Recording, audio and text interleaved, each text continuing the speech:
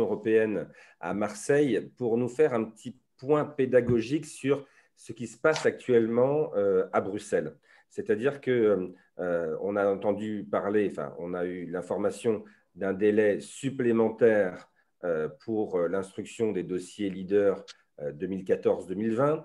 On a ensuite parlé d'une période de transition sur les deux premières années de la période 2021-2027. On entend parler des négociations sur le budget de l'Union européenne, notamment autour du FEADER, avec des milliards supplémentaires, 8 milliards. Est-ce que vous pourriez euh, nous, réexpliquer ce qui se joue actuellement à Bruxelles et nous, dire quelles sont les, conséquences attendues, positives si possible, pour le FEADER et pour LEADER? Merci, Monsieur le, Président, cher Monsieur Guignard. Bonjour à, toutes et à tous. Donc, je suis, euh, je suis évidemment honoré et ravi d'être parmi vous, même si c'est virtuellement. Alors, à la Commission européenne, on a une qualité qui est aussi un défaut de temps en temps, c'est qu'on voit toujours le verre à moitié plein. Alors, euh, les derniers rebondissements euh, sur les négociations budgétaires sont les suivantes. Donc, les bonnes nouvelles d'abord, c'est que le 21 juillet, euh, le Conseil européen s'est finalement mis d'accord, après des longs mois de, négociations, euh, sur une enveloppe euh, budgétaire, donc à la fois le, cadre de 2021-2027 et le fameux plan de relance qui s'élève à 750 milliards d'euros. ajouté aux 1074 milliards du cadre multiannuel, donc on arrive à un total de près de 1800 euh, euh, milliards d'euros, ce qui est évidemment tout à fait colossal. Alors, cet accord a été, euh, validé très récemment par le Parlement européen et le Conseil, là également, après quelques longues semaines de négociations, plus exactement le, 10 novembre, avec un rajout de 15 milliards, essentiellement consacrés à des programmes comme la recherche, Erasmus, et d'autres plus petits programmes comme la politique de, voisinage. Ça, c'est le côté positif. Et alors, je me réjouis derrière tout ça, évidemment, des, avancements sur euh, les engagements et les paiements au niveau du programme Leader France. Hein. Donc, merci, euh, merci à tous pour, pour ces efforts colossaux qui ont été faits et euh, au ministère de l'Agriculture pour, cette synthèse. Alors, maintenant, il faut remplir l'autre moitié du verre, hein, puisqu'il est qu'à moitié plein. Hier, euh, il y a eu euh, une réunion importante au niveau des comités des représentants permanents. Donc, en clair, les représentants des ministres qui se sont réunis, non pas à Bruxelles, mais c'est en général virtuel là, également, euh, avec un constat. donc, la bonne nouvelle, c'est que personne ne conteste vraiment les montants, ou même pas du tout. Tout le monde est, est d'accord. Donc, sur ces 1800 milliards à engager. Par contre, il y a un facteur bloquant euh, de, deux pays précis, donc c'est la Pologne et la Hongrie, qui ont contesté euh, le facteur de conditionnalité des aides au respect de l'état de droit. Ça, c'est de manière générale. Ils ont également contesté, avec un veto, le principe. Ah, excusez-moi, c'était le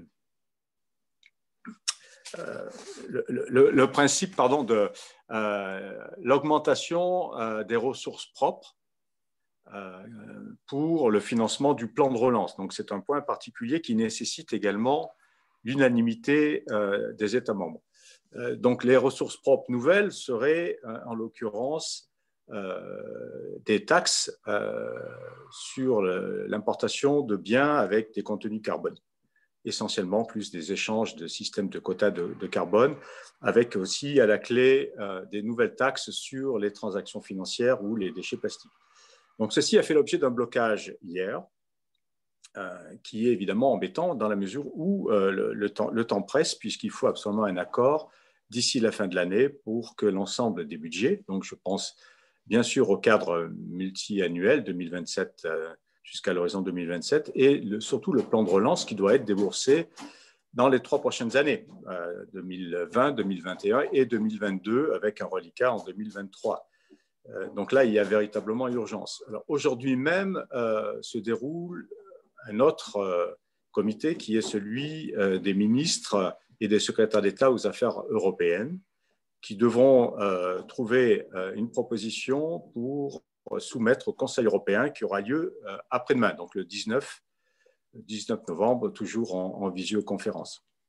Donc voilà où nous en sommes. Alors au, niveau de la politique agricole commune, il y a évidemment des conséquences directes, puisque s'il n'y a pas de, budget à adopter, il va falloir trouver des solutions pour euh, le principe de continuité. Euh, compte tenu euh, des retards qui ont été pris, la Commission a été évidemment très consciente du fait qu'il va falloir trouver des périodes de, transition, en tout cas de prolongation, pratiquement pour tous les programmes, mais particulièrement pour la politique agricole commune. et ça, ce n'est pas nouveau, puisque la Commission avait déjà proposé en octobre 2019 une période de transition qui repousserait l'ensemble des, accords existants jusqu'à fin 2022. Alors, concernant le, FEADER Leader, ça signifie que, euh, comme pour l'ensemble des autres fonds structurels, les accords de partenariat des États membres seront prolongés de deux années, donc jusqu'à fin 2022. Euh, concrètement, pour Leader, ça veut dire que les programmes de développement euh, rural et, régionales seront euh, prolongées jusqu'à fin 2022 au besoin. C'est-à-dire que s'il existe des, cas où les crédits ne sont pas engagés, donc il y a encore des reliquats, il n'y aura pas besoin de demander une prolongation des, des programmes de développement rural.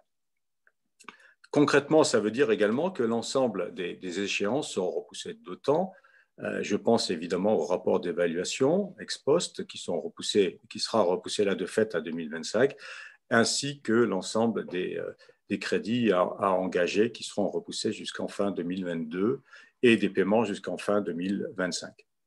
Voilà où nous en sommes actuellement. Donc, euh, la période de transition a été évidemment anticipée.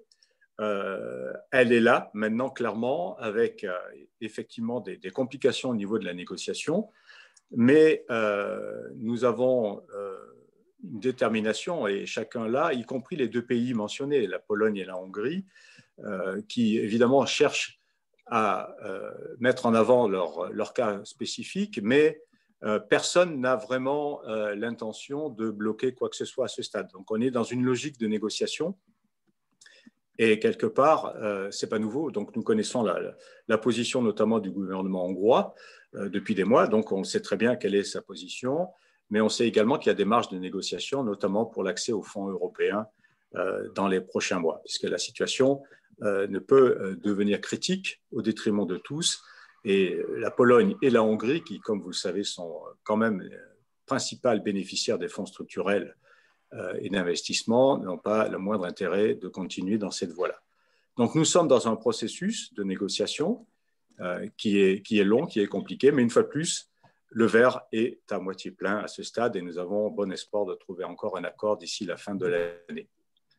Voilà, je peux m'arrêter là et euh, rester tout à fait présent pendant les, minutes qui suivent, en tout cas tout le long du débat où je me ferai un plaisir d'intervenir s'il y a des questions spécifiques là-dessus. Merci de votre, de votre attention. Merci beaucoup, euh, Alain Dumort, pour euh, ces explications. Effectivement, on fera appel à votre expertise tout à l'heure pendant la table ronde avec le ministre qui est en train de, se connecter, me semble-t-il.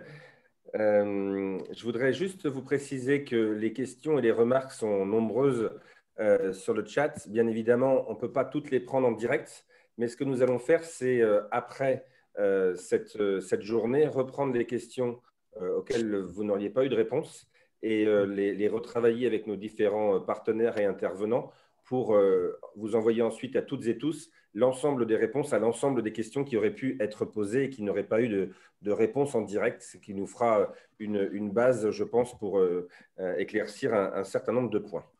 Alors, nous sommes en attente de connexion, donc dire le ministre est connecté, je, ne le vois pas sur.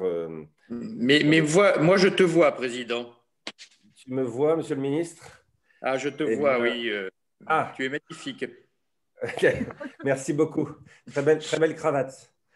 C'est ça, oui. Je viens de jeter un t-shirt de rugby à l'instant pour mettre une cravate, une chemisette pour toi. C'est mieux, merci beaucoup.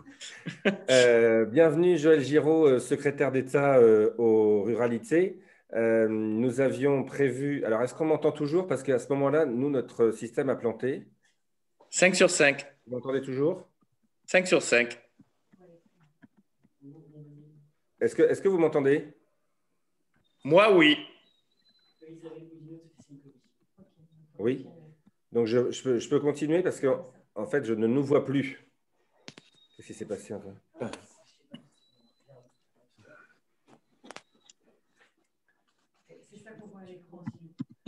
La question que je voudrais savoir, c'est est-ce qu'ils ont le son Oui, ils ont le son?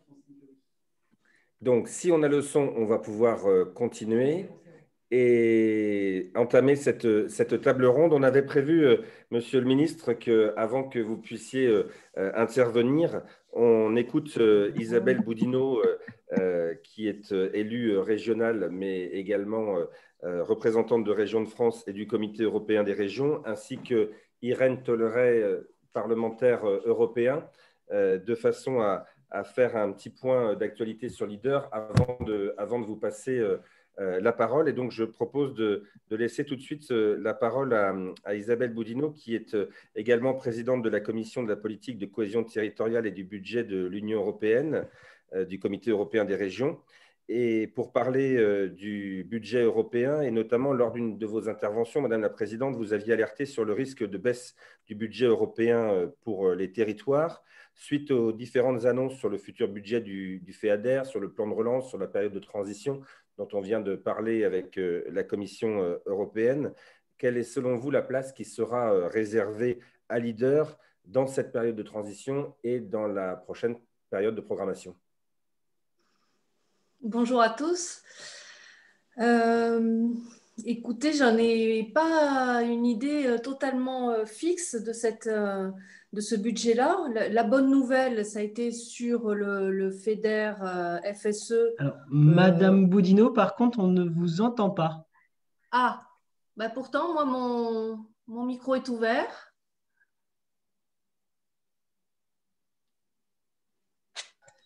Si, si, c'est bon. Excusez-moi, vous pouvez y aller. Ah, parce que de, mon côté, euh, tout est euh, bien affiché. Euh, oui, alors le, budget euh, leader proprement dit, je, ne saurais trop euh, vous dire pour l'instant.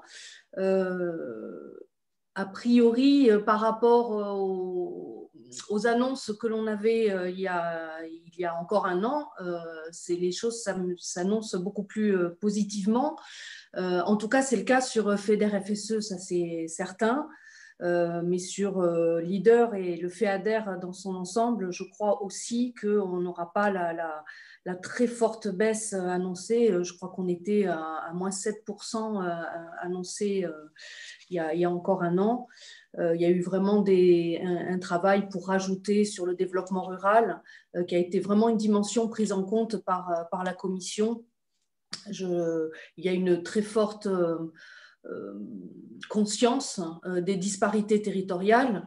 Euh, c'est le cas pour la France. Hein. Si on n'a pas eu de forte baisse sur le FEDER FSE, c'est parce que la plupart de nos régions sont classées en transition, ce qui veut bien dire que les statistiques démontrent les inégalités territoriales. Elles existent et elles sont prises en compte par la Commission. Euh, et donc le développement rural, à ce titre, euh, même si malheureusement il ne sera pas géré de la même façon que le, FEDER FSE, c'était un de nos combats au comité des régions, mais on n'a pas obtenu gain de cause. Ça restera deux dispositifs, euh, les fonds européens agricoles et les fonds européens de cohésion.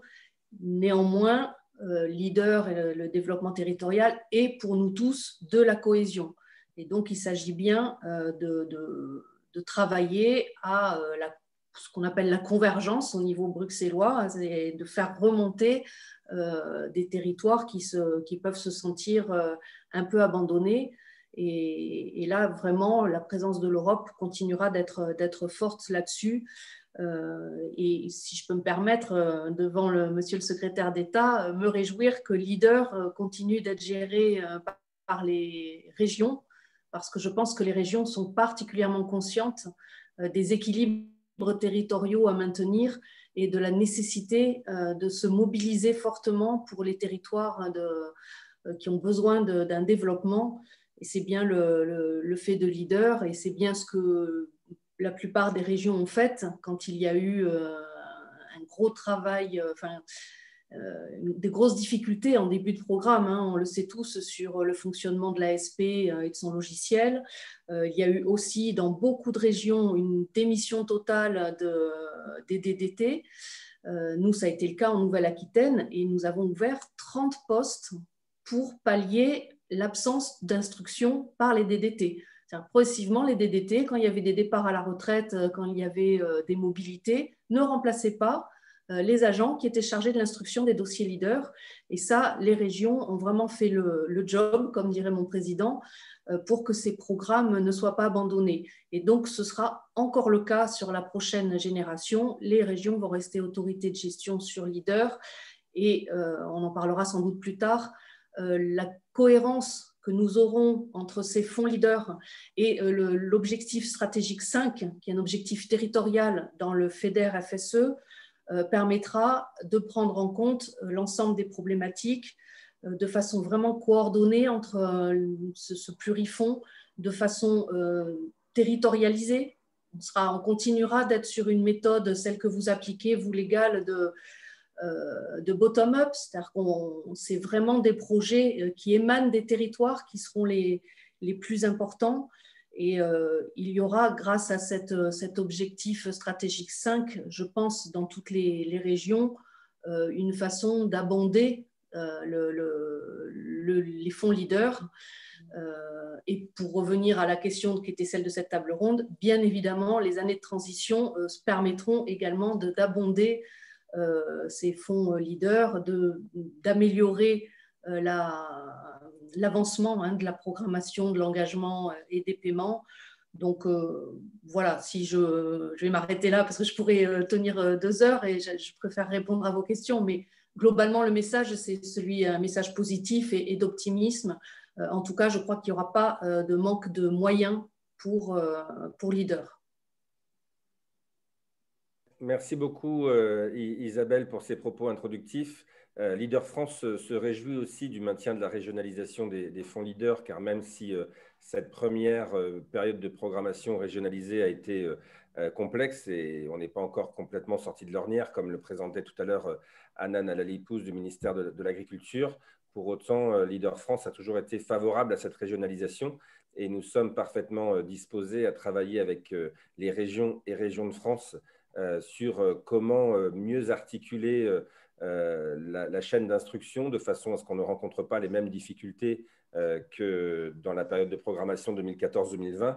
Et d'ailleurs, nous avons une réunion de prévue demain matin sous l'autorité de Laurence Fortin avec Région de France et les régions de France pour faire un bilan de cette période de programmation, parler ensemble de façon très, très, très claire et très en toute franchise de ce qui a fonctionné, de ce qui n'a pas fonctionné, et savoir comment est-ce qu'on peut euh, anticiper la prochaine période de programmation pour éviter euh, euh, que la, chaîne d'instruction soit aussi embolisée qu'elle a pu être en, début de période de programmation. Irène Tolleret nous a rejoint, députée au Parlement européen, membre du groupe d'action locale du Grand Pic Saint-Loup. Irène, bonjour. Bonjour. Ça y est, nous t'avons euh, à l'écran. Merci de, nous avoir euh, rejoints. On a donc euh, commencé ces propos introductifs avant de, laisser la parole au, ministre Joël Giraud. en tant avec ce double regard, groupe d'action locale et, parlementaire européen, que peux-tu nous dire des, débats actuels sur la PAC, sur le, le développement rural et comment, à quelle sauce va être mangé leader dans la prochaine période de programmation euh, Alors, il va être mangé dans la prochaine période de programmation à la même sauce que la sauce actuelle. Hein. Le sujet, ça va être euh, sur euh, le plan de relance et la période de, de, transition, en fait. Leader, ça fait donc cinq fois qu'il est reconduit en 30 ans d'existence. 2021-2027, c'est la sixième programmation. Euh, les trois premières programmations, c'était des initiatives euh, communautaires, Leader 1, Leader 2, Leader 3, Leader Plus, euh, avec des fonds spécifiques qui étaient alloués par la Commission à chaque État membre. en 91, Leader 1 vivait, les, visait les territoires défavorisés Leader 2, c'était la consolidation en mettant l'accent sur euh, l'innovation et la coopération. Leader Plus, c'est un peu l'âge adulte avec l'élargissement du programme à l'ensemble du territoire rural européen. Donc, euh, pour l'instant, euh, on est en 2014, l'Union a étendu les programmes Leader aux zones urbaines. Pour 2014-2020, Leader, c'était trois autres fonds européens, FEAMP, FEDER, FSE. Euh, même si leader n'est obligatoire qu'au titre du FEADER, un projet unique peut désormais être soutenu, système, peut être soutenu par, euh, au titre de deux ou plus de ces quatre fonds européens grâce au concept du euh, plurifonds que nous n'aimons pas forcément énormément en France. bon, c'est une critique constructive, hein. qui pourrait donc permettre au GAL d'intégrer complètement les solutions et besoins locaux. Dans la réforme de la PAC, leader est inclus dans le chapitre de coopération euh, du développement rural. il reste euh, un élément euh, constitutif important de l'architecture de la PAC et il continue à être obligatoire avec chaque État membre qui doit lui allouer au moins 5% de son budget du FEADER. une des questions qu'il y avait et qui peut toucher, ça a été que le deuxième pilier, a pu être abondé par des virements euh, du premier pilier. Et donc, ça a fait que, euh, de facto, on a pu avoir du leader qui était au-dessus de ces 5%. Aujourd'hui, dans la future PAC, on est sur 5%. Et sur la période de transition, les 5%, c'est en dehors des transferts. Donc, dans les deux prochaines années, on est sur 5%, 5%. Je ne sais pas si j'ai répondu à ta question. Mais on reste sur le même principe, de, de, actuel. Merci beaucoup, Irène. On aura euh, l'occasion de revenir euh, en détail euh, tout à l'heure sur ces questions-là. Nous avons donc la chance d'avoir la présence du secrétaire d'État en charge des, ruralités. Merci encore, Monsieur le ministre, d'être présent. Il y a actuellement 212 participants inscrits à ce webinaire. Lorsque vous étiez euh, député, vous avez euh, relayé à plusieurs reprises les difficultés des groupes d'action locale que vous connaissez bien, euh, les questions de Leader France qui, étaient posées au gouvernement. Et maintenant, vous y êtes dans le, dans le gouvernement. Alors, qu'est-ce que ça change et est-ce qu'on peut compter sur vous pour défendre Leader? Oui, mais d'abord, euh, bonjour, euh, bonjour Président. Euh, je voulais, je voulais d'abord remercier Thibaut Guignard, qui est notre président d'Eader France, pour l'invitation qu'il m'a adressée. bon, on s'est on, rencontrés d'ailleurs assez rapidement à l'issue de, de, ma nomination. Euh, parce que, bon, je, vais être clair, je ne vais pas vous faire un, discours tout construit euh, sur euh, ce que je fais à longueur de journée, mais on s'est rencontrés rapidement parce que, parce que je sais l'impact des programmes Ligueur sur, sur des territoires. je voulais rassurer notre vice-présidente de, région. J'ai été moi-même vice-président de Michel Vauzel pendant dix ans dans la région Provence-Alpes-Côte d'Azur, même si mon, accent ne, ressemble pas beaucoup à celui du sud de la France. Euh, et j'ai pu, puisque j'étais en charge de l'aménagement du territoire, de la montagne et des programmes européens, euh, j'ai pu mesurer euh, l'importance de l'animation régionale autour de ces questions et la façon dont nous arrivions souvent à, à décoincer des systèmes qu'il était un petit peu avec des contreparties difficiles à trouver, des instructions dont je, dont je connais la difficulté avec certains services, pour ne pas dire, ce qui me gênait encore plus que l'instruction, si vous voulez, c'était surtout les, les, problèmes de jugement d'opportunité sur les projets qui me, posaient un petit problème. Je, comprends qu'on soit dans la légalité ou dans l'illégalité, mais les jugements d'opportunité sur le contenu des, programmes et le contenu des projets me, posaient un problème. Alors bon, on est sous une forme un peu moins conviviale que je l'aurais voulu. D'autant plus que lorsque j'ai écouté notre députée européenne parler du Pic Saint-Loup, je me suis dit que la convivialité aurait pu être euh, nettement, nettement meilleure en amenant quelques produits locaux. Euh, mais en tout état de cause, moi, ce que je voulais vous dire aujourd'hui, c'est que, euh, bon, je pense que l'important, c'est de, rentrer dans le, dans le débat directement, mais moi, je suis conscient d'une chose, c'est que pour avoir vécu systématiquement dans des territoires ruraux, je suis très attaché à la question de l'ingénierie territoriale. Euh, et l'ingénierie territoriale, justement, euh, légal, leader, ça fait partie de ce qui a fait décoller l'ingénierie territoriale dans un certain nombre de territoires ruraux qui ont pu, grâce à cela, euh, sur des, objets très très différents, avoir pour la première fois des, gens en charge du, mécano très complexe, que j'allais dire très complexe de la, vision française des programmes européens et qui a permis justement de, faire en sorte que sur ces territoires ruraux, euh, ce ne soient pas les, oubliés des, programmes. Donc c'est pour ça que je, m'intéressais énormément à, Leader et que j'avais d'ailleurs à l'époque euh, suggéré qu'on fasse des choses un peu sur le même modèle euh, dans les régions et notamment sur les régions Rhône-Alpes et Provence-Alpes-Côte d'Azur, s'agissant du comité de massif. C'est-à-dire que l'on paye de l'ingénierie territoriale pour que les projets puissent être montés sur des territoires s'agissant des programmes de, montagne. Euh, et nous y sommes euh, parvenus. Je voulais vous dire d'ailleurs que c'est un peu la raison pour laquelle, au, titre du comité interministériel aux, ruralités, on s'est également battu pour qu'il y ait euh, demain, au-delà de l'ingénierie de l'Agence nationale de cohésion des territoires, au-delà des, journées de chargés d'études que l'on va payer à certains territoires, en plus de, de cela, pour qu'il y ait notamment des volontaires territoriaux en administration sur le même modèle que les, VTE pour, le, pour, les, territoires d'industrie. Je, crois fondamentalement que la seule solution, c'est effectivement d'injecter de l'ingénierie territoriale dans les territoires et avec la création de 800 VTA, nous allons pouvoir faire participer pleinement des territoires ruraux au plan de relance, puisque c'est bien là le, but. Euh, on a toujours l'impression qu'il y a des choses qui ne sont pas faites euh, pour les, territoires, euh, notamment les territoires ruraux. Et au travers de cette ingénierie de territoire, je pense que nous allons arriver à, capter sur 12 mois, 18 mois, des crédits importants. Nous avons vraiment besoin d'un mécano.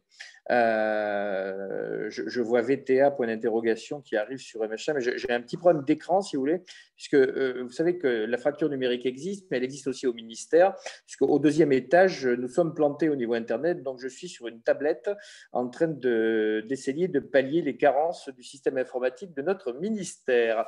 Voilà. Euh, le Wi-Fi a l'air de fonctionner, donc déjà c'est bien parce que sans ça j'étais cuit. Euh, donc moi je, voulais vous dire simplement aujourd'hui que vous avez au ministère de la cohésion des territoires et en particulier au secrétariat d'État à, la ruralité, des interlocuteurs. Euh, en particulier une personne euh, qui a été nommée, qui est à mes côtés, euh, qui s'appelle Nicolas Évrard. On ne le voit pas dans l'écran parce que c'est un peu compliqué, sans ça la distanciation sociale ne sera pas, ne sera pas respectée, et qui est justement là pour démêler ces mécanos, à la fois des programmes européens, mais également de toutes les questions liées à l'aménagement du territoire et à la montagne, euh, puisque c'est sa fonction au cabinet commun que nous, que nous avons monté avec Jacqueline Gouraud. Euh, nous avons fait le, choix d'avoir des, conseillers techniques et thématiques qui soient des conseillers communs, de façon à ce qu'il n'y ait pas ce qu'on voit très souvent dans, dans l'administration française des secrétariats d'État et des ministères qui se regardent en chaîne faïence pour savoir qui va parler le premier à la presse. Comme j'ai un égou relativement limité, ça, ça, ne sera pas le cas ici. Et cela permet tout simplement de, faire en sorte que nous ayons un gros travail interministériel. Euh, travail interministériel que vous connaissez aussi, parce que quand on manque des programmes européens, euh, on, fait euh, de l'interministériel interne à l'État, interne aux régions, euh, de manière assez, assez, je dirais, que, assez courante. Et ici, mon rôle, euh, c'est effectivement de faire des bilatérales avec tous les ministres. Et je voulais vous annoncer aussi que, en fonction de, ce que nous allons voir et de voir, voir, notamment les difficultés qui sont encore en œuvre, je fais la semaine prochaine une bilatérale avec Clément Beaune pour justement toute la mise en œuvre de ces programmes européens, dont leader euh, sur les territoires, de sorte que la, la France soit bien au rendez-vous euh, avec les régions, puisque je, faisais partie des gens qui avaient, qui avaient souhaité effectivement qu'il y ait des autorités de gestion régionales qui prennent en charge une grande partie des, dossiers européens. Et soyez assurés d'une chose, c'est que nous faisons ici le lien avec ce secrétariat d'État aux affaires européennes, également tous les ministères, et que vous pouvez nous solliciter euh, dès lors que le mécano ou l'assemblage euh, vous semble poser un petit problème. Voilà, je voulais simplement vous préciser ces choses-là sans vous faire un, discours magistral je préfère le dialogue euh, direct, et vous dire que je suis à votre disposition maintenant pour la. J'ai compris qu'il y avait une séance de questions d'actualité. Je suis à votre disposition pour tenter d'y répondre. Merci. Exactement, euh, Monsieur le Ministre. merci beaucoup de ces propos introductifs. On a, on a, bien compris que le travail interministériel était important. Et alors, il s'est tenu un deuxième comité interministériel aux ruralités le 14 novembre dernier. Mon cher Joël, je l'ai lu en entier et il n'est pas fait référence aux politiques de l'Union européenne et il n'est pas fait référence à leader sur plus de 30 pages du dossier de presse. Euh, comité interministériel aux ruralités, je crois qu'il y a encore du travail pour imposer les questions européennes quand on parle de ruralité. Eh bien, c'est tout simplement, euh, Thibault, parce que nous étions euh, sur l'interministériel avec les affaires étrangères et, le secrétariat d'État à l'Union européenne. Euh, les réunions n'ont lieu qu'à partir de la semaine prochaine.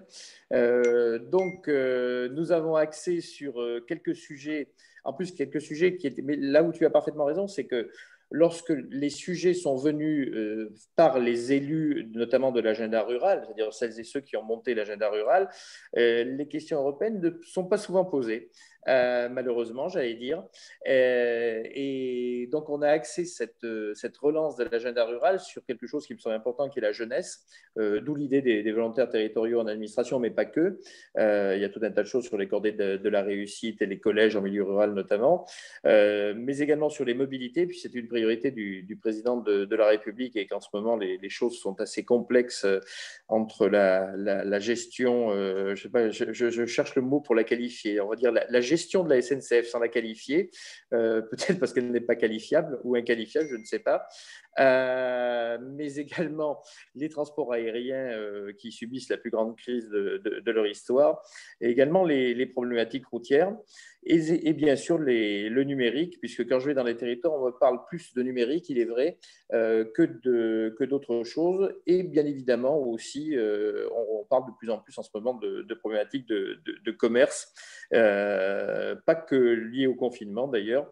Et il y a des solutions qui existent, puisque je me rappelle bien que nous avions lors d'un d'une opération au travers d'un GAL euh, fait en sorte que nos, commerces redeviennent attractifs sur tout un territoire. Euh, et c'était extrêmement intéressant, commerce et artisanat d'ailleurs, c'était extrêmement intéressant de voir le, partenariat public-privé qui s'y menait. Mais tu as tout à fait raison euh, de souligner que sur ce document, puisqu'il n'y avait pas l'Europe comme sujet bilatéral. Parce que Leader France n'était pas Leader France avait été invité, alors on y aurait parlé d'Europe. Ben voilà, mais bon, euh, c'était un format un peu contraint comme le nôtre aujourd'hui, malheureusement. Euh, c'est pas pas très facile de faire toutes ces réunions en visio. Euh, il, manque quand même quelque chose d'important qui est la relation directe. Donc tu as accepté, comme tu le disais à l'instant, de te prêter au, jeu des, questions au gouvernement. On va profiter d'avoir notre, notre ministre pour lui, lui, poser un certain nombre de questions. Et nous allons prendre la direction tout de suite de l'Eure-et-Loire avec Victor Provost qui euh, a une question pour Joël Giraud. Victor. Oui, bonjour Monsieur le Ministre. Euh, je voulais savoir dans les, politiques de développement rural euh, françaises et principalement l'agenda rural, quelle était justement la place de leader dans, ce, dans cette politique? Écoutez, déjà bonjour et, moi, pour, pour, être très clair, le, rôle de, de, leader, il apparaît comme un des piliers de la politique française de développement rural. Euh, bon, euh, alors le CIR euh, de, samedi, puisque j'allais dire de vendredi, mais il a été décalé à samedi, a eu un, certain écho dans, la presse et on se bat, Jacqueline Gouraud et moi, pour que la ruralité retrouve sa, place dans les politiques nationales. Mais l'agenda rural, il, ne va pouvoir atteindre ses objectifs que si on réussit à trouver des collectivités et, des acteurs locaux qui sont mobilisés et qui sont, qui sont compétents. C'est pour ça que le, réseau leader tel qu'il existe à l'heure actuelle, avec l'expérience que vous portez, je, je, trouve qu'il est, comment dire, en, quelque sorte, c'est une avant-garde pour la ruralité on doit non seulement le consolider, et c'est ce à quoi on, s'est employé, euh, mais aussi nous appuyer sur cette expérience qui donne des résultats et qui présente euh, de très grandes réussites. Et, ce qui est intéressant, de très grandes réussites avec souvent euh, une myriade de petits projets, ce qui est l'apanage même de, du ruralité et du retour de, l'équité. Alors, moi, ma, première, ma, première préoccupation, c'est l'engagement et la mise en paiement des, aides de, de leaders, hein, pour être très clair. Hein. Euh, parce qu'avant d'aborder la, question de l'avenir, il faut quand même écluser euh, ce qui qui s'est passé. Alors, la je ne reviendrai pas sur la période de programmation qui s'achève et qui a été hyper difficile, euh, et surtout pour les acteurs de, terrain que, vous êtes. les retards de paiement du, fonds leader, bon, c'est devenu quelque chose d'assez dramatique. Bon, pour autant, euh, on, a, on est à des niveaux d'engagement euh, et, de paiement et Région de France, que, dont je salue les, représentants ici, va saisir de la possibilité de déposer, disposer d'un délai supplémentaire de deux ans pour le versement des aides, qui nous permettra d'écluser le programme. C'est quand même peu dramatique la situation dans, laquelle nous sommes, puisque c'est nous qui avons porté le programme leader au niveau européen, c'est nous qui, avons donné des, bâtons pour nous, faire battre.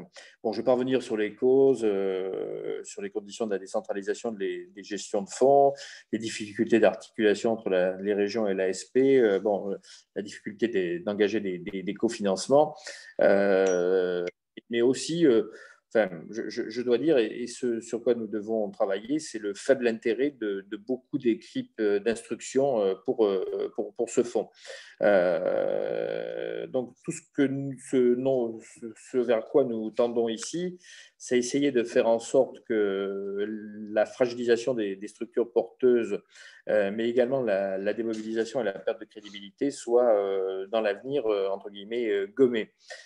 sur la prochaine programmation, euh, les, les, crédits euh, qui sont proportionnels au, montant de la PAC, euh, certes, sont, sont en diminution, mais, mais, dès lors, les, modalités d'instrumentalisation des, fonds, d'instrumentation des, n'importe quoi, des fonds resteront les mêmes, mais il faudra travailler aux, conditions opérationnelles d'une meilleure mobilisation et, on doit ouvrir ce dialogue avec euh, Région de France, bien sûr dans le respect des, compétences de chacun, parce qu'il faut vraiment remobiliser toutes les régions euh, toutes n'ont pas le même niveau, je dirais, de, mobilisation sur ce fonds. Donc, il faut remobiliser les régions sur un fonds qui s'inscrit dans, une logique qui est complètement décentralisée et complètement ascendante, c'est-à-dire exactement ce que nous voulons faire ici euh, et qui a pêché dans pas mal de, périodes précédentes. Et on veut proposer aux régions l'idée d'un leader un peu plus sélectif, euh, surtout sur les territoires qui sont les, les, territoires, euh, plus, euh, des plus, plus resserrés, sur une véritable stratégie, euh, qu'on n'ait pas l'impression qu'ont eu certaines régions d'avoir quelque chose qui est, comment dire, qui est un peu un, guichet sans, logique, parce que c'est ce que certains représentants des régions m'ont dit lorsque je les ai interviewés. Et j'ai eu quelquefois de la peine, c'était marrant parce que c'était moi au titre de l'État qui ai essayé de, de, démentir cela pour redécrédibiliser le fond. Donc oui, la, place que nous allons lui donner ici au MCT, euh, au ministère de la Cohésion des Territoires, euh, est, une place, euh, j'allais dire, de leader pour, pour leader.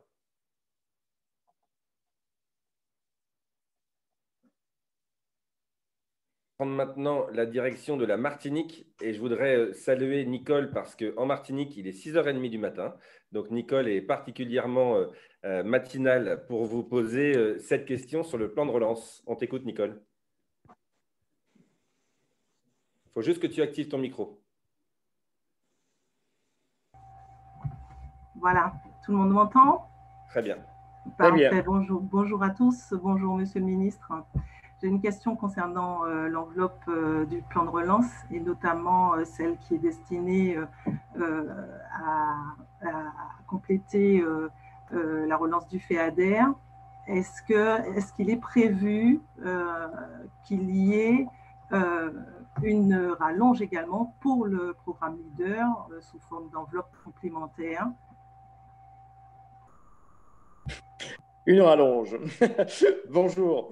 Et bravo de vous être levé si tôt. Mais, mais, mais si j'ai bonne mémoire, quand on est en Martinique, euh, c'est une heure à laquelle euh, il fait déjà jour. Donc, c'est quand, même bien, quand même bien mieux que le soir, en fin d'après-midi j'ai quelques souvenirs de votre, de votre magnifique île, euh, même si c'était dans le cadre d'autres fonctions. Euh, écoutez, alors la question que vous posez, elle est, elle est très difficile parce que en fait, le sujet n'est pas encore totalement calé. Euh, en fait, vous faites référence au, plan de relance européen, qui est donc un plan de relance de, 750 milliards d'euros, dont 390, 390 pardon, de, subventions. Euh, la, France euh, a présenté son plan de relance le 3 septembre avec 100 milliards d'euros qui s'articule avec trois piliers, comme vous le savez, la, relance verte à 30%, la compétitivité et la cohésion. Euh, bon, on a 40 milliards d'euros qui proviendront de l'Union européenne sous forme de, subventions. la, question du, fléchage, puisque c'est ça votre question, d'une part du FEADER prévu dans, le plan de relance pour Leader. Et plus globalement, la, répartition de cette enveloppe supplémentaire est en plein milieu des, des négos actuellement à, Bruxelles. alors, vous, vous, savez, mais je, je pense que je n'entendais pas complètement l'intervention de la députée européenne parce qu'il y a eu plusieurs coupures, mais euh, vous, savez que le Parlement européen et en particulier la commission Agri travaillent sur ce sujet complexe. Euh, elle l'a expliqué tout à l'heure. Bon, euh, il a été décidé d'intégrer dans, le futur règlement transitoire de la PAC les dispositions sur, la gestion des, fonds Next Generation de l'Union européenne.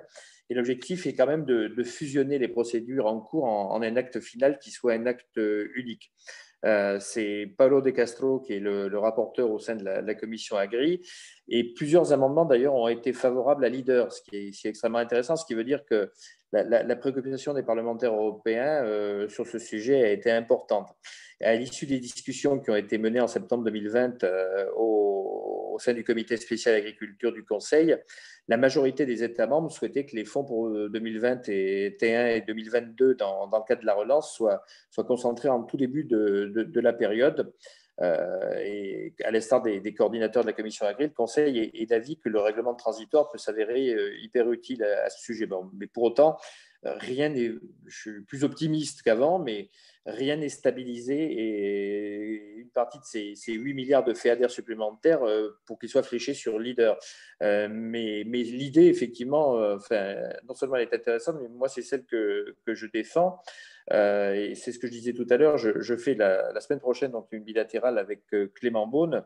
Et je vais également voir à la fois Clément Beaune, mais aussi sensibiliser Julien de Normandie sur cette possibilité qui me semble qui, me semble importante parce que, pour moi, leader, c'est une référence qu'il faut consolider avec le FEADER, mais, d'ailleurs aussi avec d'autres fonds euh, structurels. Hein. Je, constate que dans certaines régions qui sont très en avance, on décide que, par exemple, 10% euh, du FEDER doit aller sur le, rural, et dans le rural, il y a euh, justement leader. donc, on est en train de faire des, j'allais dire, un, certain nombre d'initiatives régionales qui sont, qui sont, à mon avis, les bienvenues, euh, parce que souvent, il existe, euh, il existe des dispositions de, pourcentage réservé de, la part de soit des régions, soit d'autres organismes pour la ville. Il en existe beaucoup moins pour le rural, enfin, du moins, ce n'est pas dans la, dans la tendance. Et ce que je compte bien en tout état de cause, c'est me faire le porte-parole de, de, votre question, comme je vous l'ai dit, auprès de Clément Baud la, semaine prochaine, parce qu'elle me semble extrêmement importante. Merci à vous. Euh, Nicole, effectivement, euh, Monsieur le ministre, il y a des groupes d'action locale qui sont structurés partout en France hexagonale et d'outre-mer. Il y a des projets en stock. La ruralité est, innovante, la, ruralité est dynamique. La ruralité porte des projets, a besoin de financement. Et si on pouvait avoir, dans le cadre de ce plan de relance, des rallonges, sachez que les groupes d'action locale, sous réserve euh, des démarches euh, et chaînes d'instruction euh, réglementaires et de mise en paiement pourraient très rapidement déployer ces financements sur les territoires, car les comités de programmation sont, sont, opérationnels. Et une fois de plus, vous le savez aussi bien que moi, il y a des projets en stock dans les territoires. Tout à fait. C'est quelquefois d'ailleurs, si je peux me permettre, ce qui manque sur d'autres fonds, parce que autant de nos collègues européens sont très bons pour avoir des stocks et des tiroirs, moi qui connais bien l'Italie puisque je le suis à moitié, euh, nos collègues ont des trucs tout prêts à, sortir, quelle que soit la, chaussette, je dirais, du financement européen, alors que nous, nous sommes plutôt dans, dans l'attente et ça n'est pas le cas justement sur Leader, donc profitons-en pour faire quelque chose d'intelligent. Alors nous allons revenir euh, dans, l'Hexagone du côté euh, de l'Ain avec euh, Roland Bernigaud qui a également une question pour vous. Roland? Oui, bonjour Monsieur le ministre, bonjour, Président. Vous m'entendez? Très bien. Très bien. Bonjour, bonjour à tous. Je suis ancien maire d'une petite commune de l'Ain et membre du GAL Don Val-de-Saône. Nous reconnaissons tous l'importance du programme LEADER. Je pense que tout le monde est convaincu. Cependant, compte tenu de la complexité, nous avons du mal à mobiliser nos élus sur les territoires et nous nous interrogeons sur l'avenir du programme, notamment dans la période de transition 2021-2023. Nous attendons beaucoup de choses sans aucune certitude. Nous avons dans l'égal besoin d'avoir une visibilité pour la suite, parce que ça, pour nous, c'est important. Selon vous, quel est l'avenir de leader dans le FEADER 2021-2023 2027 Je, n'ai pas entendu la fin de votre intervention, je m'excuse.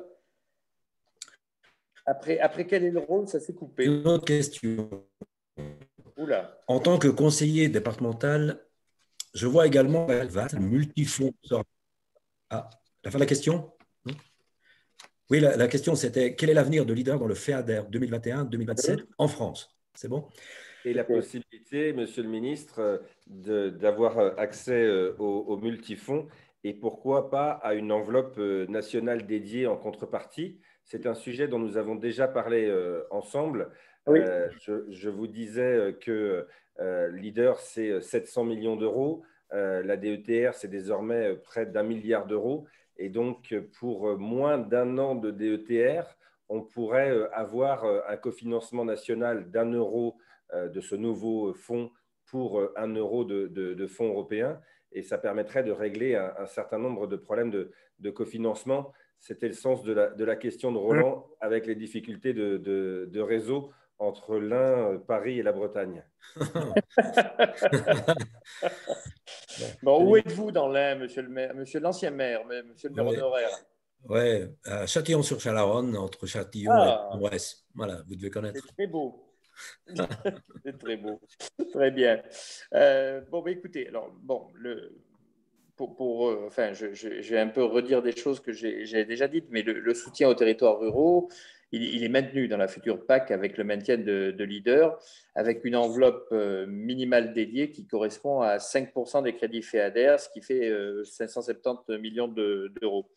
alors, bon, les mesures à destination des. Alors, je sais bien qu'on n'est pas, on n'est pas à Châtillon-sur-Chalaronne euh, dans une zone de montagne, mais euh, les mesures à destination des territoires de montagne sont également maintenues dans la future programmation, euh, l'ICHN, le soutien à la lutte contre la prédation, etc. Le soutien aux petites exploitations devrait être d'ailleurs renforcé.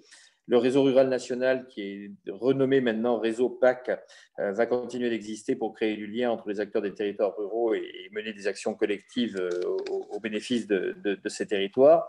Alors, la, des règlements est toujours en cours. Euh, compte tenu des, modifications importantes donc envisagées pour cette nouvelle PAC, surtout sur le premier pilier, il y a ces deux années de transition, 2021-2022, qui sont envisagées, pendant lesquelles les, mesures de la programmation 2014-2020 euh, vont continuer de s'appliquer avec les crédits de la programmation 2021-2027. Euh, voilà, donc euh, c'est du moins la, version initiale de la version en cours du moins du programme stratégique national au mois de mars 2021. Euh, donc euh, voilà, je, mais je, comprends que cette réponse est parfaitement, incomplète parce que on va, être un petit peu, j'allais dire, euh, c'est un petit peu difficile aujourd'hui de faire des estimations et des, et, des, et, de se projeter. Néanmoins, ce que vient de dire le président Thibault Guignard est, extrêmement important. La, logique du 1 euro plus 1 euro, que je, égale 1, euro en parité, je, la comprends parfaitement. Euh, et en tout état de cause, euh, ça fait partie des choses que je défendrai dans les bilatérales.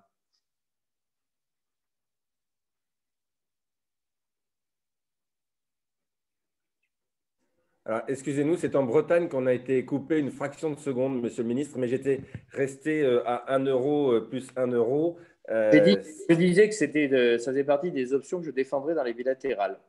Eh bien, merci, merci beaucoup. ça réglerait. En ça va être très compliqué. Hein. ça, réglerait un certain nombre de problèmes d'égal pour les, cofinancements. Ça montrerait euh, l'intérêt euh, de, l'État pour le programme LEADER. Et on n'est pas non plus complètement en dehors des débats financiers. Donc, on sait très bien que ça pourrait peut-être se faire à budget constant pour la ruralité, mais le fait de, confier euh, une enveloppe euh, euh, complémentaire à leader au groupe d'action locale serait, à mon avis, un, signe politique fort, je le dis politique au sens noble du, terme.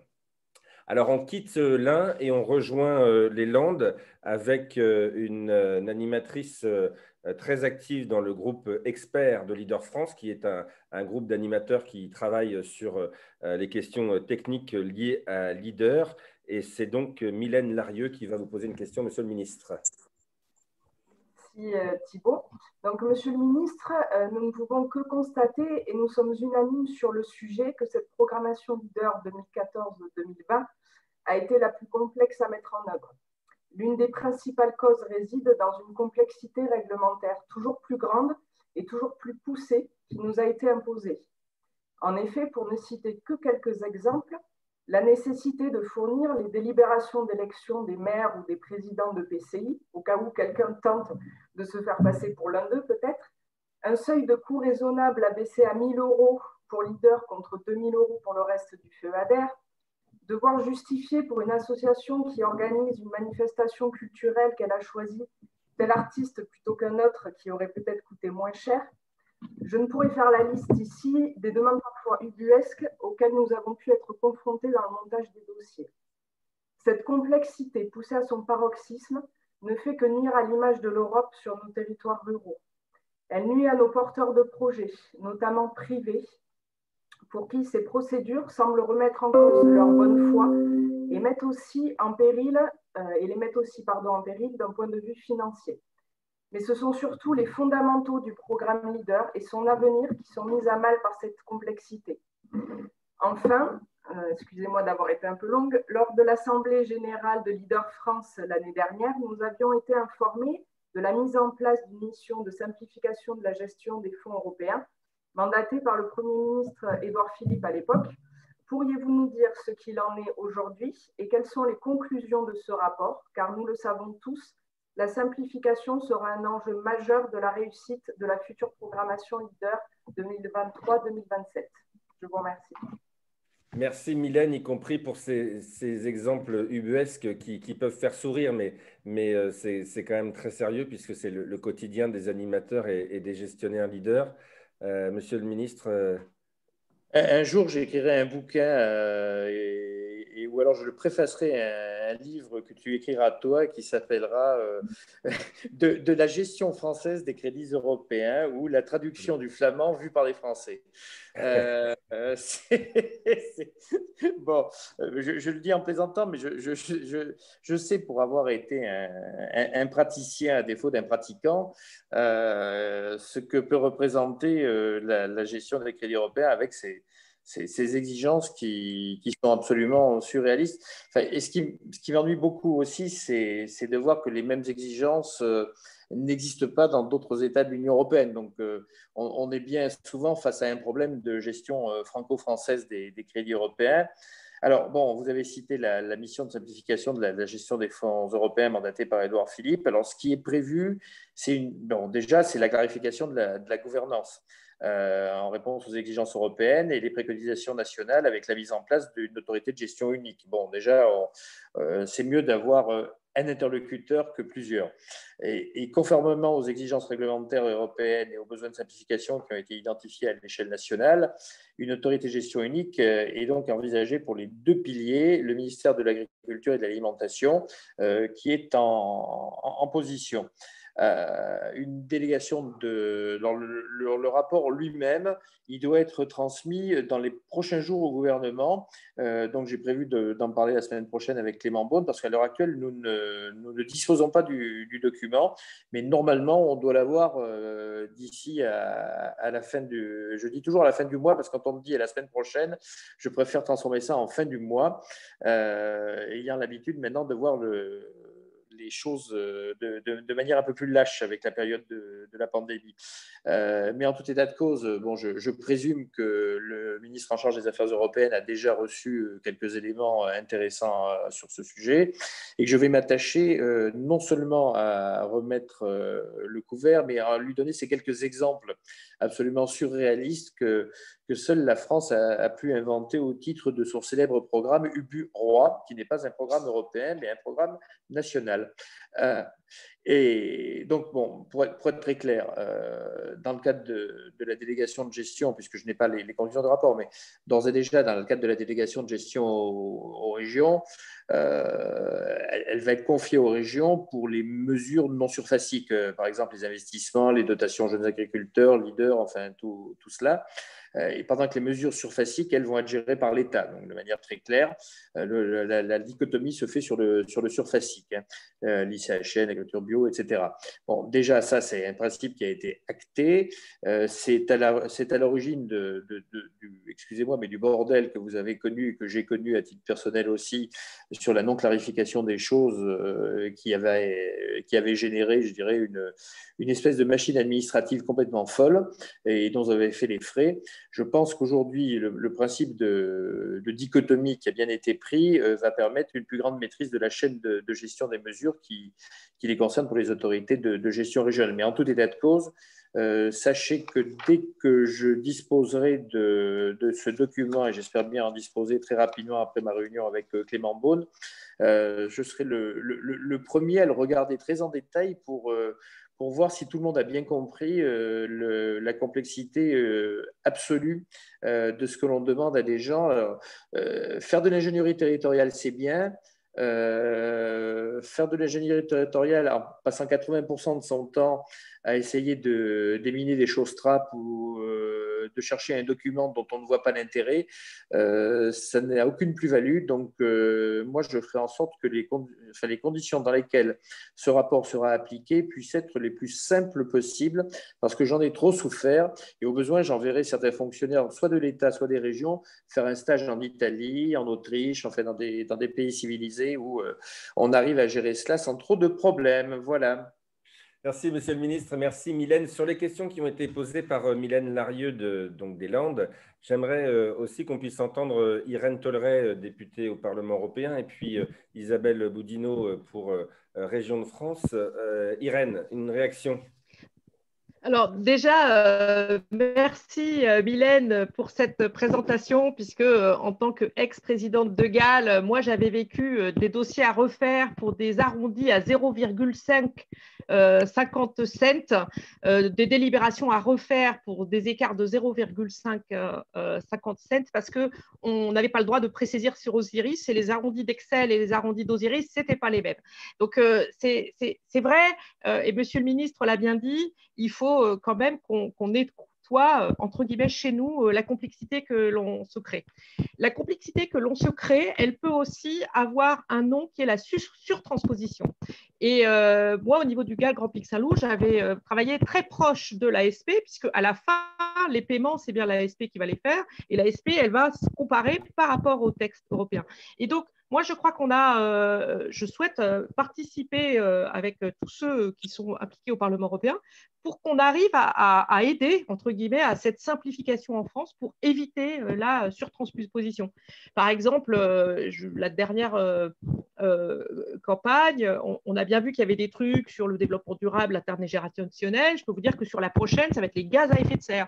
Et donc, à un moment donné, de bien comprendre que si l'Union européenne met des objectifs euh, qui sont formulées par rapport à la réduction des émissions de gaz à effet de serre, même si la chose qu'on fait participe à la réduction des gaz à effet de serre, le seul critère qu'il faut écrire noir sur blanc, c'est euh, le mot gaz à effet de serre. Et donc, il faut vraiment qu'on arrive à travailler tous ensemble entre l'échelon européen, national, régional et euh, Leader France légal pour expliquer que la complexité nous nuit euh, et que parfois, euh, on explique mieux pourquoi il y a certaines choses au niveau européen pour qu'on se les approprie au niveau national. Ça simplifiera sans doute euh, la vie à tout le monde. Voilà ce que je voulais dire, mais c'est un chantier majeur et il faut qu'on y arrive. Merci beaucoup, Irène, avec cette double vision qui, qui nous plaît bien entre euh, membre d'un GAL et, parlementaire euh, européen, tu ne peux pas dire. Est-ce que vous pouvez quand même me rassurer? L'arrondi à 0,05, ce n'était pas sur le titrage actuelique au pixel ou non, c'était euh, c'était sur des dossiers qui ont, qui ont marché, mais juste, c'est très difficile de présenter une, une, assemblée délibérante le dossier à 38 775,42 euros que vous avez délibéré il y a trois mois, on le reprend parce qu'on passe à 92 virgule, après la virgule au lieu de 42. Enfin, voilà, Et c'est lunaire. Sans oublier de fournir euh, la délibération d'élection du maire qui présidait la séance, parce qu'on ne sait jamais si le contrôle de légalité de la préfecture n'avait pas vu que la commune avait changé de maire entre-temps et que l'ancien maire euh, avait pris la place du prédécesseur. mais ça, c'est depuis que Victor Orban est arrivé là-bas, c'est qu'on a peur des coups d'État permanents. Isabelle Boudinot sur ces questions de complexité administrative avec un regard euh, région cette fois-ci. Et avec le son. Oui, avec le son, c'est mieux. Là, ça devrait marcher. C'est bon. Euh, bah, écoutez, j'aimerais être aussi optimiste que euh, Monsieur le ministre sur euh, le fait que la reprise en main de l'autorité de gestion du deuxième pilier soit une solution pour simplifier. Je crois que les questions de surréglementation française qu'on vient d'évoquer ne sont pas du tout liées aux, régions, même si on a sans doute notre part de euh, de, de, demandes parfois de comment dire, d'attestation ou de choses. Euh, mais enfin, on est quand même suffisamment près des porteurs de projets pour savoir euh, ce qui leur pose problème ou pas. Bon. et par contre, moi, ce qui m'inquiète beaucoup, c'est que ce programme stratégique national qui devra être, donc qui est en cours d'élaboration, qui est prévu, je crois, pour être abouti seulement en 2022. C'est pour ça qu'il y a beaucoup de questions auxquelles on ne peut pas encore vraiment répondre. Euh, quand on voudra modifier quelque chose, c'est ce PSN qu'il faudra modifier. Donc ce sera beaucoup plus lourd que de modifier chacun de nos PDR euh, actuels. Donc je ne suis pas complètement euh, rassurée sur, cette, sur cet aspect-là des choses. après, effectivement, ben, je suis contente qu'on ait autour de la table, une, si, j'ose dire, une, une, députée européenne, parce que c'est vrai que la Commission propose souvent des simplifications mais euh, les parlementaires ont parfois tendance eux aussi à rajouter euh, leurs petites touches parce que ils, enfin, c'est vraiment, c'est, je ne veux pas leur faire de critique, ils connaissent un contexte local, ils connaissent des pays euh, qui cherchent à passer au travers des mailles du filet et à pas respecter, donc ils cherchent parfois à mettre des contraintes supplémentaires. Seulement, ces contraintes supplémentaires, effectivement, on les paye sur le terrain euh, par euh, ce type de mesure euh, qui fait que certains pays à qui on devrait faire confiance parce que les porteurs de projets, les marchés publics sont faits de façon tout à fait correcte, pâtissent du fait que dans d'autres pays, les marchés publics sont peut-être pas aussi clairs et nets. Donc ça, c'est le problème de l'Europe. C'est effectivement une vision un peu homogène sur 27 pays qui font que euh, ben, on, est en bout de course quand on est porteur d'un projet euh, sur le territoire. Euh, on récupère toutes les, réglementations et les contraintes supérieures. Après, je crois que les régions ont vraiment déployé tous les moyens en, animation de ces programmes pour, être, pour que chaque GAL ait un interlocuteur particulier et que euh, dans, nos services régionaux et qu'on puisse au maximum aider euh, les, animateurs de GAL à, prendre en main ces programmes. On, les a aidés à se former, on fait des réunions très régulièrement euh, sur ben, justement les questions de marché public, sur les questions juridiques. on fait des petits euh, manuels euh, qui sont des synthèses de ce que produit euh, la Commission au Parlement européen pour qu'ils n'aient pas besoin de, potasser tout le bottin hein, des réglementations. Donc voilà, on espère être au plus près des spécificités territoriales et des spécificités de chacun des pour les, aider à avancer le mieux possible.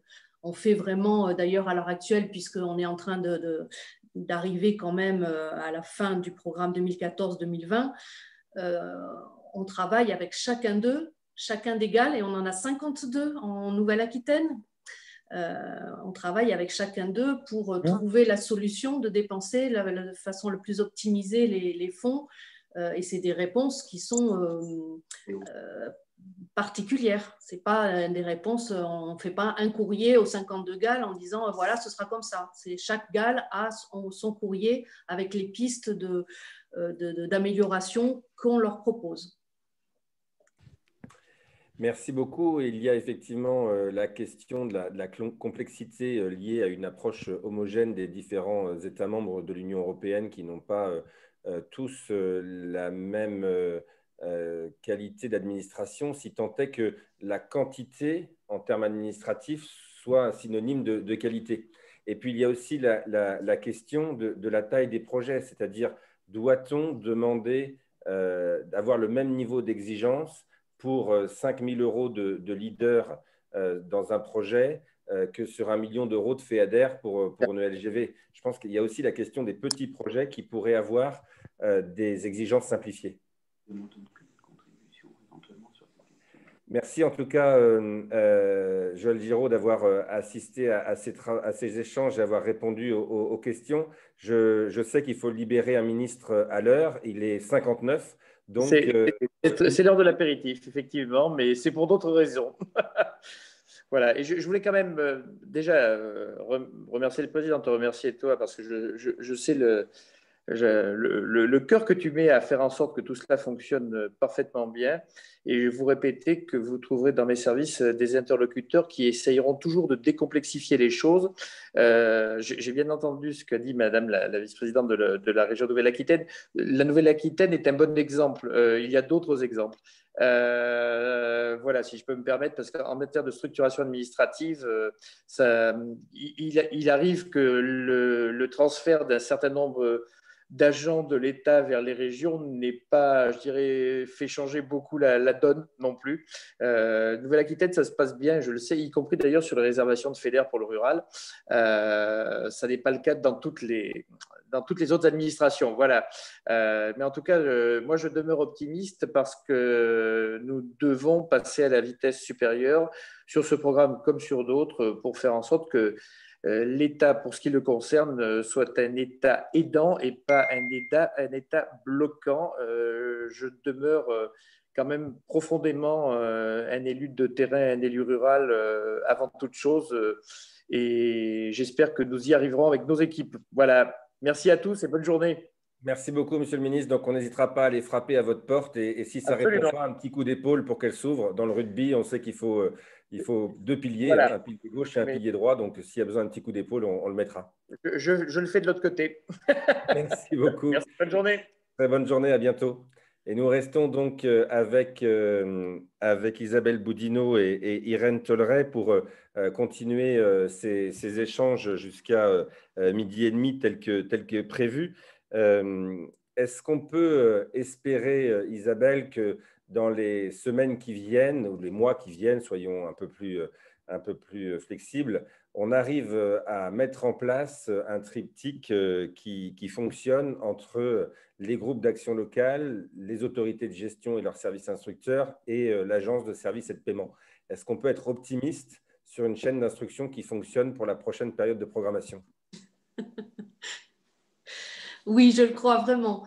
Je crois qu'on a beaucoup améliorer nos, rapports avec l'ASP. Honnêtement, euh, la nouvelle dynamique dans la programmation, euh, les engagements, etc., ils ont été à nos côtés. Euh, et, franchement, on a énormément de réunions de concertation. ils sont toujours partie prenante. Et donc, ça, nous, en tout cas, en Nouvelle-Aquitaine, ça se passe vraiment bien avec l'ASP. et je pense que ça n'a rien à voir avec le fait que leur siège soit à Limoges. Mais euh, non, on a des équipes euh, avec qui on travaille très bien. Euh, donc les instructeurs, ben, pour, notre part, c'est fait. Ils sont déjà maintenant au sein des services régionaux. Donc nous, on n'aura pas de différence dans, ce, dans, la, gestion. Le fait qu'on soit, qu'on ait la, délégation de gestion, nous, on est déjà avec des instructeurs incorporés dans, dans, nos propres services. Euh, non, je pense qu'il n'y aura pas de, soucis particuliers. Après, je, regrette profondément la renationalisation du reste du deuxième pilier de la PAC, du surfacique. Euh, je suis désolée, mais euh, même si on n'a pas beaucoup de marge de manœuvre sur, sur du surfacique, on avait quand même euh, les régions étaient quand même autour de la table et pouvaient faire passer des orientations euh, sur la transition agroécologique, euh, sur une vision stratégique d'évolution de l'agriculture qui était partie prenante du développement territorial. Et, là, on réintroduit une, coupure et une vision homogène du deuxième pilier hein, par, par le ministère de l'Agriculture qui va nuire à l'ensemble de, notre stratégie, de notre cohérence d'intervention sur le, territoire et qui va, à mon avis, introduire des lourdeurs. Donc, voilà, ça, je le, je le regrette et je pense que ce n'est pas un bon signal en plus euh, dans un pays euh, qui devrait être. Je veux dire, regardons par exemple euh, sur les questions de santé. ou sur les questions climatiques, Irène Tolleré a parfaitement raison, le, climat, la transition énergétique va être vraiment un point très important avec au moins 30% des crédits fédères qui seront consacrés à ça sur le 2021-2027, euh, ces questions-là, elles prennent tout leur sens et, l'efficacité des politiques publiques euh, sera le fait d'une véritable, véritable, adaptation à un contexte territorial, à une géographie particulière. Euh, et le développement local, c'est exactement ça. Et pourquoi donner ce signal que l'État sera mieux à même de gérer le, deuxième pilier de la PAC? C'est pour moi un non-sens total. Euh, et j'avoue que je, regrette que le secrétaire d'État nous ait quittés parce qu'il nous a parlé, euh, il, euh, de VTA. Donc j'ai cru comprendre que c'était des volontaires territoriaux en administration, création de 800 VTA. Mais c'est quoi ça? C'est de la déconcentration. C'est peut-être les services de l'État qui seront plus présents sur le territoire. Mais ça sert à rien. Ça sert à rien. On va faire de nouveau des doublons ce, ce qu'on a besoin, c'est d'être nous en responsabilité, les régions, et on est les plus à même de le faire avec toutes nos réunions partenariales, parce qu'on fait des réunions avec les, les avec les départements, euh, on fait des contrats territoriaux, on a une véritable politique territoriale. Et, on n'a pas besoin d'avoir une tutelle de l'État et de doublonner tous les services administratifs. Je, regrette vraiment ce signal euh, envoyé par, euh, par ce gouvernement c'est euh, un non-sens. Effectivement, en France, on a toujours du mal euh, à aller vers une véritable décentralisation et, parfois euh, la, haute administration parisienne considère que la déconcentration et, quelques visites ponctuelles de l'autre côté du périph, ça, suffit à décentraliser, mmh. mais on, a véritablement besoin qu'on nous donne les moyens. Il y a un sujet que vous avez évoqué tout à l'heure, Isabelle Bodino, dans votre propos introductif, euh, c'est euh, euh, l'OS5 du FEDER FSE et comment cela peut, s'articuler avec Leader. Donc peut-être rappeler d'abord ce que c'est l'OS5 du, FEDER FSE et puis nous dire s'il y a des possibilités de l'articuler avec notre programme. Alors, euh, bah, dans les mesures de simplification proposées par la Commission, il y a eu le fait qu'il euh, y a nettement moins d'objectifs stratégiques dans les programmes opérationnels. Et donc, pour la prochaine période, euh, on passe à cinq objectifs stratégiques pour les fonds FEDER et FSE. Le premier objectif, ça reste l'objectif principal de la, Commission, qui est les questions de compétitivité, d'aide à la recherche, d'aide vraiment aux PME, aux entreprises. c'est toute cette question de, dans un marché mondialisé, euh, on doit être compétitif et donc euh, injecter un maximum de recherche et développement dans notre économie. Le deuxième objectif stratégique, c'est l'objectif climat. Donc, rien que ces deux pôles, le premier compétitivité et le deuxième climat, on est sur quasiment 75% des crédits euh, FEDER, FSE. FEDER, pardon, FEDER. Euh, le troisième objectif, il ne sera pas valable pour la France, c'est les questions de mobilité. Donc euh, peut-être une toute petite... Euh, nous, en fait, on essaie de le faire passer sur l'objectif stratégique 2, sur le climat, et ce sera de la mobilité durable. Mais on n'aura rien sur les grandes infrastructures type LGV, ferroviaire. Donc on oublie le 3. Le quatrième, c'est le FSE, donc la formation, qualification, montée en compétences des, salariés. Et création de cette nouvelle génération de fonds européens, le cinquième axe, un cinquième objectif stratégique, qui est un objectif stratégique territorial. C'est là qu'on trouvera, par exemple, les 8% minimum de crédit sur la politique de la ville, les quartiers les plus en difficulté.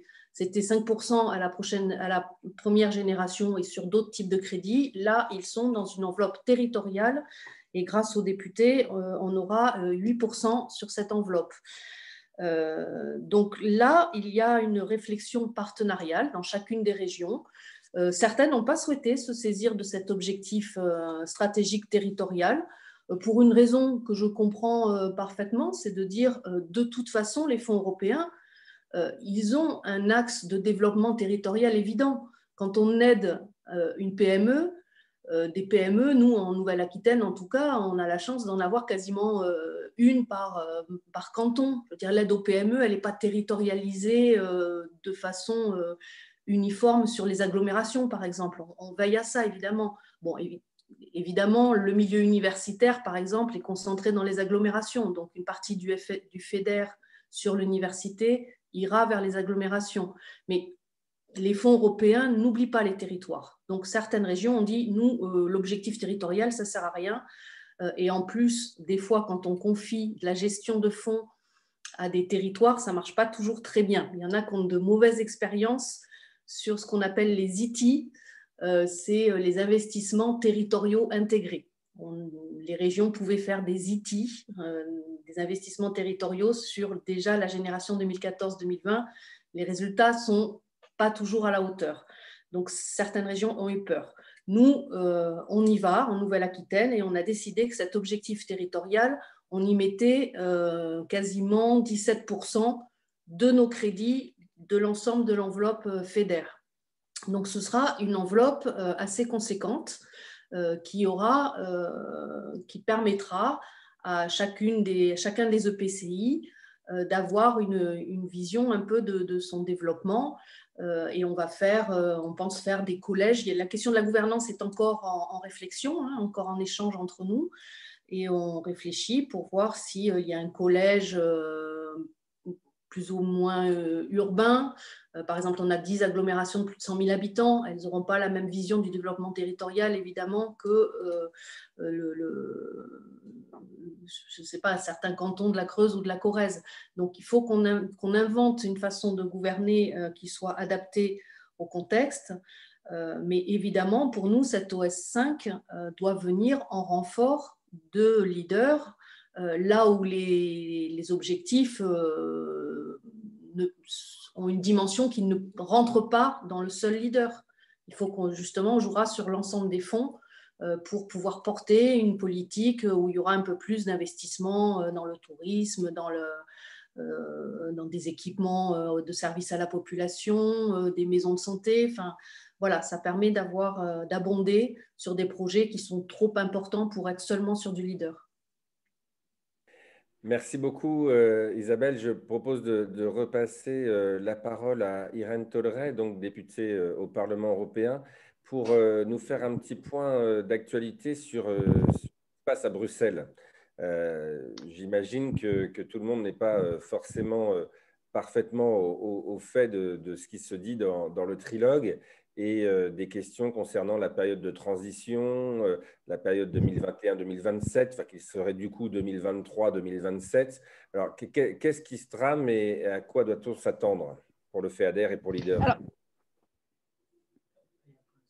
avec le son, Irène, s'il te plaît. Voilà. Si tu veux, euh, merci euh, euh, Thibault, merci. Franchement, je, me régale et, tous les intervenants sont, de grande qualité. Je pense aussi que c'est comme ça qu'on a des, députés qui sont plus proches dans la production de textes des attentes du terrain, d'échanger. c'est vraiment important. Donc, au niveau de la politique agricole commune, je ne vous cache pas qu'il y a la crise Covid avec le plan de relance. Donc, on a la nouvelle PAC qui est en trilogue, sur lequel on a 5% aujourd'hui qui sont euh, actés politiquement, mais euh, ce n'est pas, euh, pas le truc qui va plus impacter Leader France tout de suite. ce qui va impacter Leader et Légal tout de suite, ça va être le plan de relance. Donc, ce qu'on a euh, expliqué, euh, juste pour info, euh, ce plan de relance, il y a des organes locaux hein, qui se mettent en place avec le comité de suivi régional de plan de relance. Ça peut être aussi intéressant de suivre un peu la genèse de ces choses-là. Donc, sur Leader pour la prochaine période, on a un budget de la PAC qui est gardé à 386 milliards d'euros et on a euh, leader qui est à 5%. Voilà. Donc euh, ça, on l'a. Le reste, c'est encore en négociation. Il n'y a pas spécifiquement de volonté de, retirer quoi que ce soit de ce qui existe en leader, puisque c'est un programme qui marche bien et beaucoup de, pays y sont attachés. Donc, en tout cas, et ce 5% est bien un 5% minimum. C'est-à-dire qu'après, derrière, il y aura la possibilité, que ce soit au niveau des régions ou dans des dispositifs qui ne sont pas encore tout à fait clairs, d'aller plus loin que ces 5%. Je voudrais revenir sur les deux prochaines années parce qu'elles ne sont pas neutres du tout. Donc, on a donc, sur l'année 2021, le FEADER pour la France, c'est 1,8 milliard. Donc, leader, c'est 89 millions. Non, 89 millions. va s'additionner à cette somme-là les 546 millions d'euros jusqu'en 2025. Et puis, on a euh, ces 8 milliards d'euros du plan de relance dans lequel 37% sont euh, gardés pour les mesures environnementales, le bien-être animal et leader. Et ça, ça redescend dans euh, l'enveloppe française où la négo n'est pas encore terminée. Donc, les négos ne sont pas encore terminés, mais la bonne nouvelle, c'est que le 5%, il est protégé et sur la période de transition, il n'y a plus de transfert, donc euh, on n'a que les 5%. Soit dit en passant, on a quand même de l'argent non dépensé. Donc euh, oui, on peut considérer que les 5%, ce n'est pas une victoire par rapport au taux réel euh, de, de, leader compte tenu des transferts du premier pilier sur le deuxième pilier. on est quand même sur du bien théorique puisqu'on n'est pas du tout sur du 100% dépensé au niveau de leader. Donc, le 5%, il est protégé et il y a de l'argent du plan de relance qui va pouvoir être euh, euh, mobilisé. Les négociations ne sont pas encore euh, finalisées. sur l'ensemble des orientations, très clairement, la neutralité climatique fait partie des, des choses qu'on ne pourra absolument pas éviter, et pour une bonne raison, c'est qu'on n'a pas d'autres planètes, donc on doit à tout prix se les approprier. Et l'autre sujet, c'est tout ce qui est la numérisation de l'économie. Je pense que Leader avait déjà euh, pas mal de, petits euh, projets euh, qui ont pu essaimer et devenir des plus gros projets d'ailleurs. voilà. je ne sais pas si j'ai bien répondu à, ta question. Merci Irène, oui, tout à fait, parfaitement. Ça permet de, de comprendre plus précisément ce qui se discute actuellement à Bruxelles. Euh, nous avons euh, Alain Dumort euh, de la représentation permanente de la Commission européenne à Marseille qui est toujours avec nous et je l'en remercie. Je vais lui redonner la parole peut-être pour quelques compléments de ce qui vient d'être dit. Oui, tout à fait. merci, Monsieur le Président. simplement deux, points d'information dans, ce que la Commission propose et a proposé. C'est davantage de, de, flexibilité dans la gestion des fonds. Alors, c'est à la fois les transferts entre les différents fonds, mais c'est aussi des capacités accrues de transfert entre les deux piliers de la PAC. Donc le premier, les aides directes, au deuxième, développement rural, avec un facteur, je dirais, accélérant sur la transition énergétique. Donc on est prêt euh, à effectivement faire un, effet d'amplificateur pour arriver à ces fameuses 30, ce fameux 30% de, de l'ensemble des fonds dédiés au changement climatique, de la ferme à la table, comme on l'a qualifié. Ça, c'est un premier point. Euh, le deuxième point, c'est simplement aussi rappeler euh, l'existence euh, du réseau des centres d'information Europe Direct, qui, comme vous le savez sans doute, sont très très implantés dans les territoires et beaucoup sont même d'aider dans, dans, le montage des, des projets avec l'égal. Voilà, c'était les deux points que je souhaitais mentionner à cet égard. Merci. Merci beaucoup Alain Dumort. Alors, je le disais tout à l'heure, on ne pourra pas répondre à, toutes les questions du chat en direct, mais on fera euh, une foire aux questions après euh, cette journée. Mais il y en a une qui revient, et, donc je, ne sais pas si Isabelle ou, Irène pourraient euh, y répondre. C'est une, question qui revient très souvent sur le chat, c'est comment va être financée l'ingénierie des GAL pendant la période de transition? C'est la question à quelques milliers d'euros pour terminer la matinée. Qui se lance?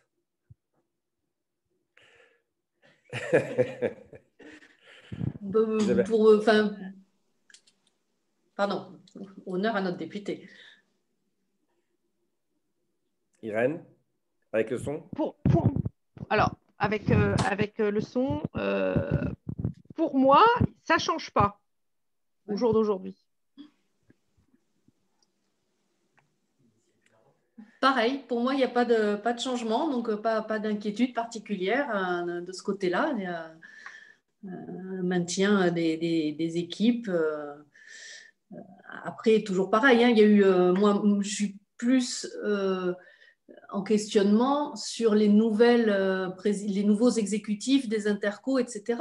C'est à eux aussi de dire quelles sont leurs priorités et s'ils souhaitent avoir une, une équipe d'animation à la hauteur de, de projets. La maquette euh, financière actuelle d'Egal, elle ne va pas jusqu'à 2023. Donc, cette, cette, ingénierie, déjà jusqu'à 2023, euh, il va falloir euh, financer les années 2022-2023. Donc, on sera sur la prochaine période de programmation 2021-2027, mais pendant le règlement de transition. Donc, la question, c'est de savoir est-ce qu'il y aura des crédits d'ingénierie qui viendront réabonder la maquette ah, bah, oui, pour moi, nécessairement. Il y, a, une prolongation, ces années de transition, pour moi, c'est une prolongation euh, de la période actuelle en utilisant les crédits de la période future, mais selon les règles de, la période actuelle. Voilà. Je voulais dire la même chose. En fait, la période de transition, normalement, euh, c'est les règles actuelles qui s'appliquent pendant euh, une durée de transition avec un abondement financier qui est décidé année par année. Donc, il y aura, un, abondement des maquettes, il y aura un abondement des maquettes d'égal sur leur stratégie euh, de 2014, y compris euh, sur euh, la ligne animation-gestion. C'est-à-dire, ce que je, ce que je dis, c'est que les règles actuelles s'appliquent sur 2021 et 2022. Donc après, il y a après, c'est 2023 et je ne vois pas pourquoi ça changerait. Donc pour moi, ça ne change pas. On va faire simple. Ça ne change pas de manière certaine sur 2021-2022 et sur 2023, je ne vois pas pourquoi. Après, il y a euh, le sujet euh, qui est quand même euh, un sujet pas neutre, qui est le plan de relance. Parce que dans les plans, le plan de relance français, enfin le plan de relance français, il y a 40% de fonds européens à un moment donné. Cet argent-là, il va aussi avoir besoin d'être traité au niveau administratif. Euh, moi, j'ai discuté par exemple avec l'Agence nationale de cohésion des territoires. Eux, ils estiment que ça peut potentiellement créer sur les équipes qui traitent les fonds européens une surcharge administrative de plus de 30%. Donc, dans tous les cas de figure, un, la réponse à ta question précise, c'est ça ne change pas pour l'ingénierie leader, mais deux, puisqu'il va y avoir le plan de relance, il faut quand même euh, doper euh, le capital humain et donc réfléchir au financement de ce capital humain euh, pour que le plan de relance en France ne soit pas bloqué par des goulets d'étendrement administratifs. Donc soyez vigilantes, mesdames, pour qu'on euh, n'oublie pas en 2022 et 2023 qu'il faut des crédits d'ingénierie, euh, qu'il ne faut surtout pas déstabiliser les équipes techniques euh, des groupes d'action locale qui ont déjà suffisamment été mises à mal ces, dernières années pour, pour poursuivre l'action au service des, territoires. Merci à toutes les deux pour votre présence ce matin. merci aux plus de, 220 participants à ce webinaire. Euh, nous allons euh, faire euh, une pause d'une heure. À 13h30, on se retrouvera sous forme de trois ateliers. Tout d'abord, comment démocratiser et valoriser le programme Leader avec Alexis Lebras, secrétaire général de Leader France. Comment être acteur de la future programmation? C'était aussi un peu le sujet de, de ce matin avec une animation assurée par François Galabrin, responsable du groupe Expert et puis un troisième atelier euh, sur les services au public dans Leader, animé par Marie Debizien, chargée de mission accessaire à Leader France, avant un temps de restitution de 15h à 15h40 qui sera euh, suivi de l'Assemblée générale statutaire de Leader France. Normalement, vous avez eu toutes et tous vos codes pour les ateliers via Alexis pour les ateliers euh, de 13h30 et puis on se retrouvera ensuite en plénière pour euh, l'Assemblée générale de notre association. Merci encore euh, de nous avoir suivis, comme on dit lorsqu'on est à la télé. Et comme disaient les guignols, vous pouvez reprendre une activité normale. Merci beaucoup. Bonne journée. Merci beaucoup. Et à tout à l'heure pour celles et ceux qui reviendront tout à l'heure à 13h30. Merci beaucoup. Au revoir. Merci, beaucoup. Au revoir. Au revoir. Tac.